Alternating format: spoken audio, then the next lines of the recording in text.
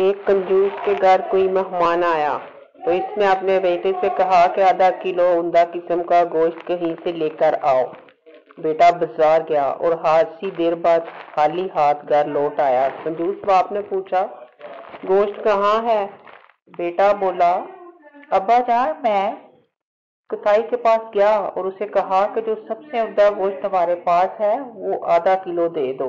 तो कसाई ने कहा, बेफिक्र हो मैं तुम्हें ऐसा गोश्त दूँगा कि गोया मक्खन हो।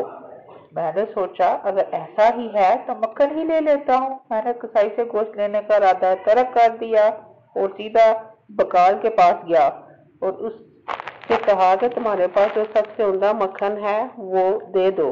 बकाल ने कहा, बेफिक्र हो मैं तुम्हें ऐसा मक्खन दूँगा कि शायद हो। मैंने सोचा कि अगर ऐसा ही है तो मैं शायद ही खरीद लूँ। चिराचा मैं शहद वाले के पास गया और इससे कहा कि तुम्हारे पास जो सबसे उमदा शहद है, वो मुझे दे दो। शहद वाले ने कहा, बेफिक्र हो, मैं तुम्हें ऐसा शहद दूँगा, गोया के बिल्कुल साफ़ शफाफ पानी हो।